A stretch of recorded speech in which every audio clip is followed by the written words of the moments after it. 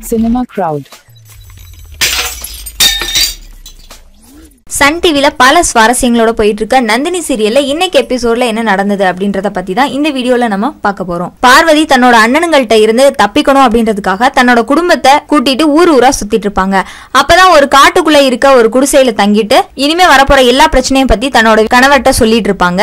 அப்ப அவர் சொல்லுவாரு எந்த பிரச்சனையா இருந்தாலும் இனிமே நம்ம ஓடி ஒளிய வேண்டாம். நம்ம எதா இருந்தாலும் சமாளிக்கலாம் அப்படின்னு சொல்லிட்டு சொல்லிட்டு இருக்காரு. நான் நாகவம்சம் அப்படின்றதுனால என்ன எதுவும் பண்ண மாட்டாங்க. உங்களை தான் ஏதாவது பண்ணிடுவாங்க நம்மளோட குழந்தைங்களே ஏதாவது பண்ணிடுவாங்க. அதனால நீங்க எப்படியாவது இங்க இருந்து தப்பிச்சு போயிடுங்க அப்படின்னு சொல்லிட்டு சொல்லிட்டு இருக்காங்க. பார்வதியோட அண்ணனுங்க அங்க வந்துடுறாங்க. வெளியில இருந்து கத்திட்டு இருக்காங்க. ஐயோ இவங்க வந்துட்டாங்க. இதுக்கு மேல இங்க இருந்தா நமக்கு தான் ஆபத்து. உடனே உங்களை காப்பாத்தி ஆகணும் அப்படின்னு சொல்லிட்டு பார்வதி சொல்லிட்டு இருக்காங்க.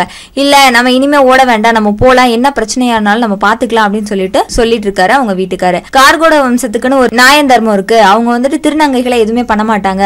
நான் இப்போ உங்களை திருநங்கையா தான் மாத்த போறேன் அப்படின்னு சொல்லிட்டு பார்வதி சொல்றாங்க. இப்படி தப்பான முடிவு எடுக்காத. இல்ல நம்ம எந்த பிரச்சனையா இருந்தாலும் பாத்துக்கலாம் அப்படின்னு சொல்லி சொல்லிட்டு அவர் சொல்லிட்டு இருக்காரு இதுக்கு மேல வேற வழி கிடையாது. என்னோட சக்தியில பாதி உங்களுக்கு தரேன். அது மூலமா நீங்க உங்களை காப்பாத்திக்கங்க அப்படின்னு சொல்லிட்டு அவங்கள திருநங்கையா மாத்திடுறாங்க.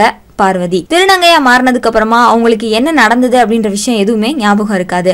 அப்பதான் பார்வதி நினைக்கிறா உங்களுக்கு எதுவுமே ஞாபகம் இருக்காதுன்னு எனக்கு தெரியும். அதுதான் இப்பவும் நல்லது அப்படின்னு சொல்லிட்டு சொல்லிட்டு இருக்காங்க. யாரும்மா நீ எதுக்காக இங்க நின்று அழுதுட்டு இருக்க? அப்படின்னு சொல்லிட்டு திருநங்கையா மாறினா அவங்களோட வீட்டுக்காரு கேக்குறாங்க. எங்களை கொல்றதுக்காக வெளியில என் அண்ணனுங்க வந்திருக்காங்க. அவங்க கிட்ட இருந்து எங்களை நீங்க தான் காப்பாத்தணும் அப்படின்னு சொல்லிட்டு அழுதுட்டு இருக்காங்க. சரி உன் குழந்தைய கூட்டிட்டு வெளியில வாமா நான் பாத்துக்கிறேன் அப்படின்னு சொல்லிட்டு அவர் வெளியில கூட்டிட்டு போறாங்க. வெளியில என்ன? நீ திருநங்கையா மாத்தி உன் புருஷனை காப்பாத்தலான்னு பாக்குறியா? உன்னால முடியாது. நான் அவங்க எல்லாரையும் அழிச்சே தீருவேன் அப்படின்னு சொல்லிட்டு அவங்க ரெண்டு பேரும் பேசிட்டு இருக்காங்க. இங்க இருந்து நம்ம தப்பிச்சே ஆகணும் அப்படின்னு சொல்லிட்டு அந்த திருநங்கையா இருக்க சேநாயகி அம்மா என்ன பண்றாங்க அப்படின்னா ரெண்டு பேரையும் அந்த எரியிற நெருப்புக்குள்ள போட்டுட்டு இங்க இருந்து தப்பிச்சு போயிடலாம் அப்படின்னு சொல்லிட்டு நினைச்சிட்டு இருக்காங்க. அப்பதான் பார்வதியோட மூத்த அண்ணனும் அங்க வந்துடுறாரு. அவரை பார்த்த உடனே நீங்க எப்படியாவது இந்த குழந்தைய தூக்கிட்டு எங்கிட்டாவது போயிடுங்க நானும் இங்க போயிடுறேன் அப்படின்னு சொல்லிட்டு பார்வதி சொல்லிட்டு அந்த குழந்தைய தூக்கிட்டு போயிடுறாங்க. பார்வதியோட அண்ணன் அங்க வந்துட்டு தன்னோட ரெண்டு தம்பிகளும் எரிஞ்சு போறதை பார்த்துட்டு நீ உங்களை நான் காப்பாத்தியே ஆகணும் அப்படின்னு சொல்லிட்டு இருக்காரு. அப்பதான் இல்ல நாங்க இறந்து போயிடுவோம் ஆனாலுமே கூட உன் கூட தான் நாங்க சக்தியோட இருப்போம் அப்படின்னு சொல்லிட்டு சொல்றாங்க. நீ பார்வதியை அழிச்சு ஆகணும் அப்படின்னு சொல்லிட்டு பேசிட்டு இருக்காங்க. பார்வதி